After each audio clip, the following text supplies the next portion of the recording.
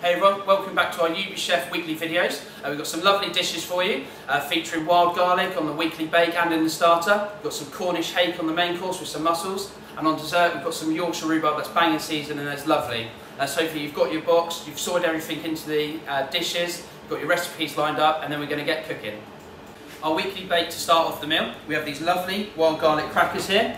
We have a wild garlic and lemon hummus, and then in here we have these lovely wild garlic shoots just to give that extra punch at the end. So to start with, we're just going to get a tray like this one. Going to line up our crackers in here. And once we've got them lined up, we're going to cover them in a little bit of rapeseed oil. But we don't need to season them as they've already been seasoned. So just going to grab the rapeseed oil. We're just going to drizzle a little bit over the top, just to give them a little shine as they go through the oven. So once you've done that, we're going to take these, we're going to put them in the oven for one to two minutes, and then I'll be back to show you how to plate it up. So the crackers have been out the oven now for one minute. We've just let them cool. We're going to finish off. So you can see I've started piping little dots of the uh, wild garlic and lemon hummus. And then on there we've added these little wild garlic shoots. So these wild garlic shoots are just going on raw. And where they're the young shoots, they're not, they're not as punchy, so you can eat, eat them raw, otherwise it might blow your head off a little bit. So once we finish that, we're going to put them onto our presentation dish. So start by just laying them round in a circle. We like to use wild garlic quite a lot on our menus this time of year as it grows in abundance right near us and we can really make the most of it. So it's a lovely ingredient for spring and leading up to spring as well. So once you've gone in your presentation dish, take them to the table and enjoy.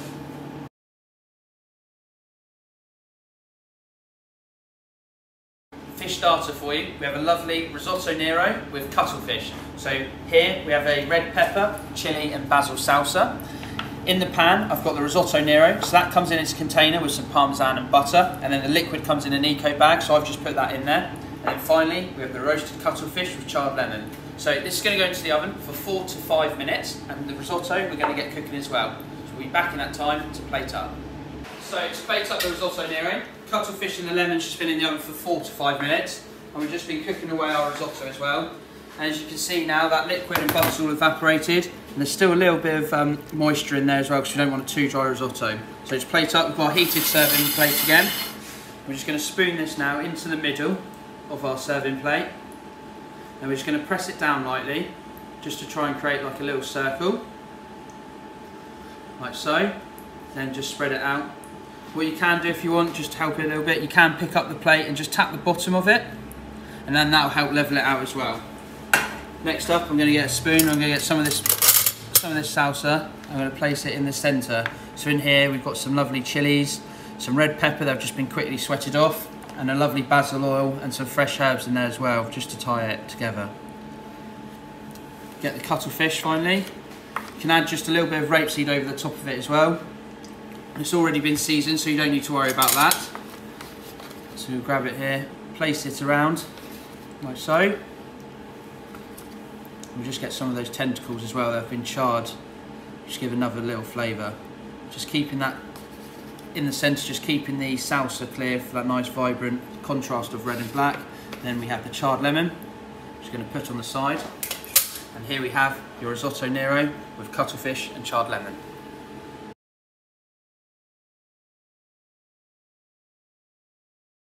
For the meat starter, we have a lovely char siu pork belly uh, which is just here in this pouch. And in there we've got some lovely sesame, lovely soy sauces, rice wine vinegar. We have an Asian dressing to go with that, a lovely pickled plum, plum carpaccio just to cut through it, some crispy wild rice and a spring onion salad. To start with, we're going to take our pork belly, we're just going to put it into a pan of scalding water for about five to six minutes until it's nice and hot and then we'll be back to plate up. So to finish off the pork belly starter, we're going to start by taking out the pork belly from the water. I've just got a little dish here that I'm going to put it into. Just carefully put it into there delicately and then just leave it there for one second. So to start plating, you can start with the plum carpaccio. So like always, we have a presentation side. So we're going to flip that over. Going to remove the bottom piece of paper here like that. Then we're going to put this, invert this onto the centre of our plate. Push it down slightly. Then just carefully remove that You Be Chef paper to put the pickled plum carpaccio on. Next up, we're going to cut the pork belly out of its little eco bag and I'm going to keep some of these juices just to finish off because it's a really nice dressing that we've got in there with it. So just carefully empty that out into the bowl. It's very delicate, the pork. So to plate up, we're just going to grab a little spoon here, move it across. And we're just going to carefully flip it over so we've got the skin facing up and then place that in the centre of our serving dish. I'm just going to quickly wash my hands.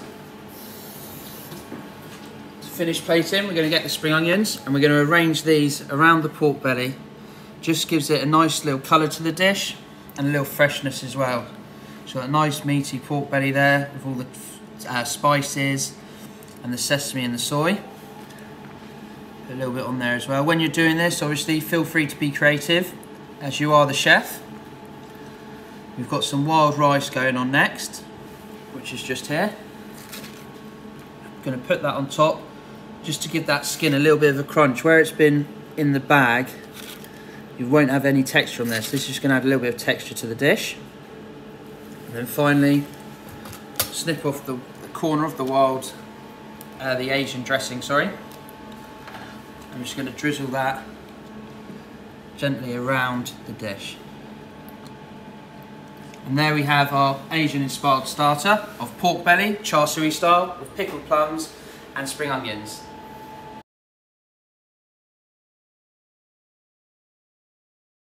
So for a vegetarian starter, we have a lovely wild garlic dish for you.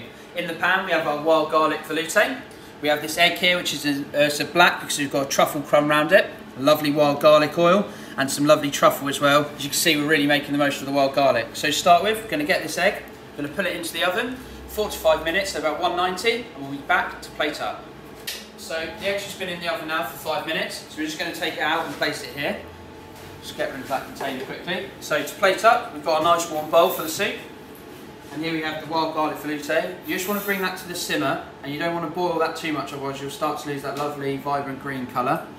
So we're just going to pour it in there like that. The next up, what we're going to do is we're going to take the egg, and we're going to make a little incision either side, like a little V. And a little top tip is, if you have a wet cloth, you can just wipe it off to get rid of that yolk there, just so then you don't get any on the actual egg.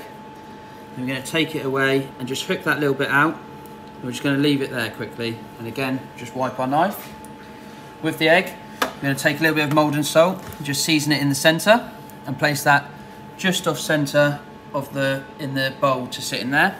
We're going to take our wild garlic oil, and with this eco bag, we're just going to snip the corner off the end off. Just do a little drizzle on top. And then finally, we take our truffle and we'll lay it in the bowl. So do a little bit on the egg as well. So in there you've got that lovely wild garlic velouté, the truffle egg, nice green colour. Put those final bits on. And then with this little uh, last bit of egg here, you can either have it as a little chef snack that I like to do, or if you wish, you can put it in the bowl to finish it off, like that. And then here we have our wild garlic velouté with a truffle egg and fresh truffle.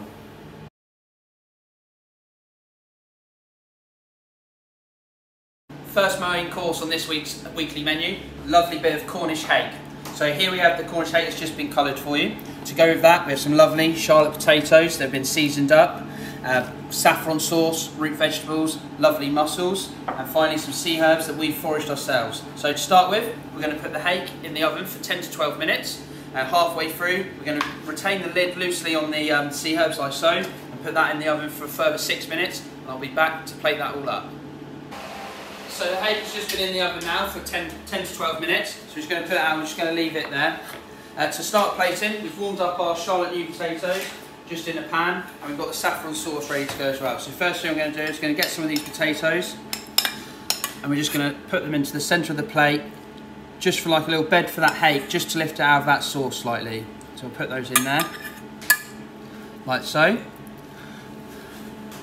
Next up, we're going to get the saffron sauce. So in here you've got the, the lovely St Austell Bay mussels, selection of root vegetables. So we've got celeriac, carrot and some swede in there. We're just going to dot that around as well. And we're just going to do the vegetables and the mussels first and then finish off with some of the sauce. You get nice spoonfuls of that sauce. It's got a lovely colour due to that saffron in there as well.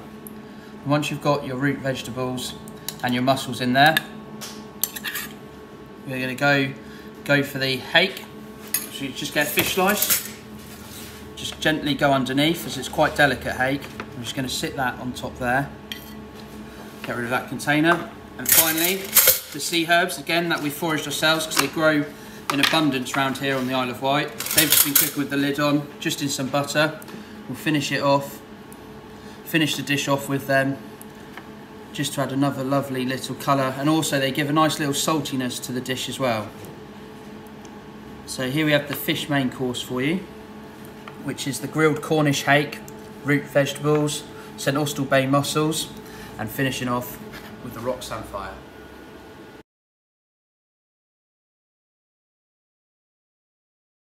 For the main course, we have a beautiful oxtail and chicken mousse ravioli.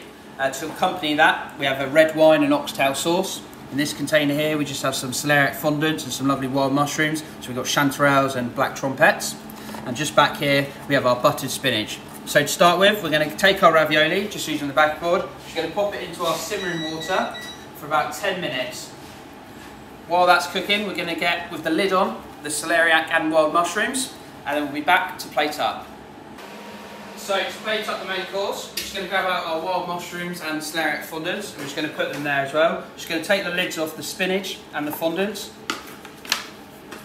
So to start with, we're going to get our ravioli that's been simmering away now in our pan. And we've just got, the pan I'm putting it into just has a little emulsion in there. So in there there's a little bit of butter, a little bit of water. That's just going to help glaze that ravioli. So again, we'll leave it there. I'm just going to add a touch of seasoning on the top, like so. So start plating, we're going to get the spinach and we're going to place it in the centre of our heated serving plate. I'm just going to make a little bed for that ravioli to sit on. Going to get some of these fondants from this tub here. We've got three of them, so we're going to place them around. Then in that little gap, we're going to add the wild mushrooms. So like I said, we've got some lovely yellow chanterelles, some black trompettes in there as well. Which just adds a nice earthiness that helps ties the dish together with that oxtail. Like so. Let's get the last few in there. Get rid of our two containers. And then just before we put the ravioli on, we're just going to get some of that emulsion. Just going to get our spoon, we're just going to lift it up over just to coat it like that. Almost basting it. Then we're going to put our spoon down, we're just going to get a fish slice. Gently scoot up underneath so it will be warm. Take off any of that excess emulsion and just place that in the centre on top of the spinach. Now to finish the dish, grab the spoon and our lovely oxtail sauce. And if the ravioli falls off like that, don't worry. Just gently pick it back up and place it in the centre. Even happens to us here in the You Be Chef kitchen. And Then just gently sauce in and around. And if you have any excess sauce, you can put it in a serving jug and take it to the table and serve with you. And that finishes off our meat main course of the oxtail and chicken ravioli, celeriac fondants and wild mushrooms.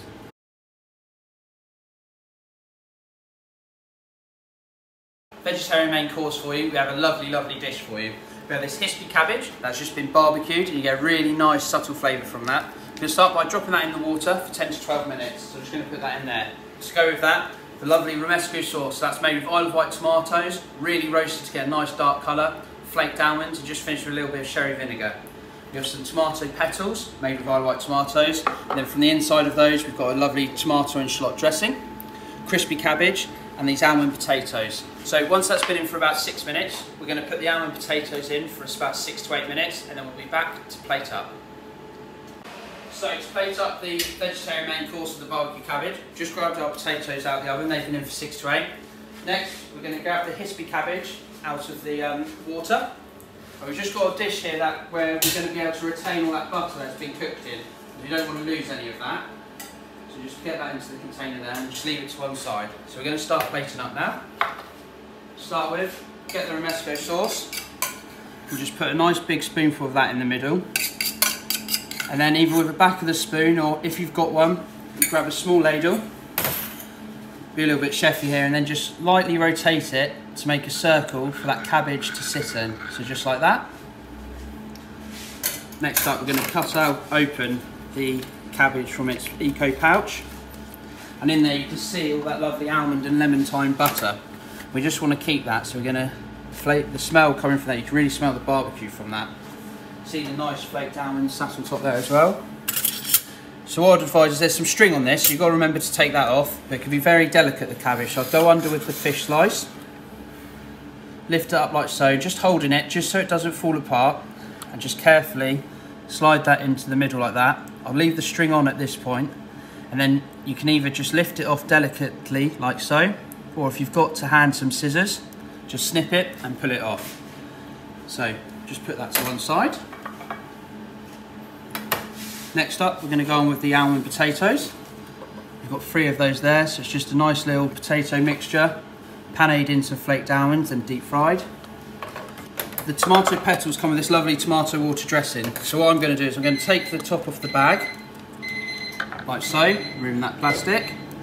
And then we're just going to pour it over to dress those tomatoes. We're going to get a spoon we're going to lift them up and you've got see you've got the lovely shape of the tomato there. They've been lightly dried with some lemon thyme on there, a little bit of almond as well, and place those around. And then we're going to finish off with a little bit of the, the tomato dressing, because there's a nice little sharpness, like so. Some of the butter, just over the top. And then finally, just grab the crispy cabbage, which has just been in the oven for one to two minutes to re-crispen. And we'll put that around the dish, leaning it on those potatoes to finish it off. So this is the vegetarian main course. And we have the barbecued hispi cabbage, romesco sauce, Isle of tomatoes, and almond potatoes.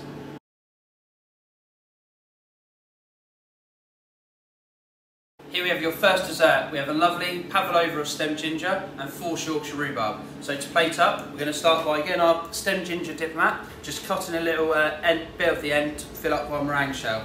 Just going to take our meringue shell here, just going to quickly fill that up, like so. I'm just going to quickly put that back in the container like that and leave that there and get rid of the diplomat. Next, going to get the carpaccio. So like with all our carpaccios, we have the presentation side. I'm going to start by taking off that top layer. And get rid of that, that's just going to the bin. And then flipping it over. And with this, I'm just going to pull it slightly off centre. And then carefully remove the You Be Chef paper. Leaving that lovely pink Yorkshire rhubarb carpaccio. Next, we're going to get that filled meringue shell. We're going to place it just slightly to one side, like so. We're going to finish off with our poached pieces of the Yorkshire rhubarb.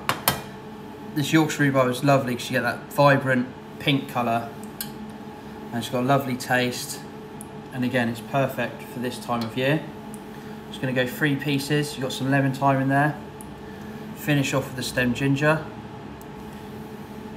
And then with the syrup, just going to get a little spoon and just be careful with this syrup where it is, is a little bit thin. You don't want it running around all over the plate. There's such a nice colour. Just a few little dots going around. And then that finishes off our dessert here.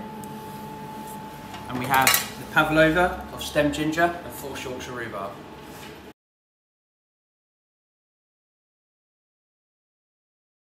Second dessert for you, we have a lovely caramel tart uh, with bitter chocolate shavings blood orange salad and a blood orange gel. So to plate this one up, to get the chocolate shaving straight from the fridge, just with a spoon. Just off the plate, we're going to sprinkle these round to cover up. We're just doing it off the plate, so if any of those shavings do fall onto the, onto the board, they're not going onto our serving plate. And just get the rest of them on there, like so. You get them on there and then just spread them out and just to cover the top of that tart. Once you've covered them, put that to one side and you can just lift that onto your serving plate. Next up, we're just going to get a little spoon. I'm going to start arranging the blood oranges. Some on top, some around the dish. Again, get creative with this one. You don't need to go by the book all the time. Get some of this lovely candied orange in there as well. Some more of the blood orange segments. This one works really well because you've got the caramel, the orange and the dark chocolate. And then to finish it off, we're just going to snip off in a second the end of our piping bag, which has a lovely orange gel on.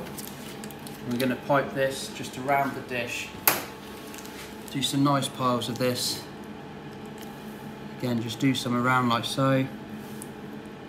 And a couple on there as well, so you can get a bit of the orange a bit of the dark chocolate and some of that caramel tart in every bite to really make the most of this dessert. And then there we have our dark chocolate and caramel tart with blood orange salad.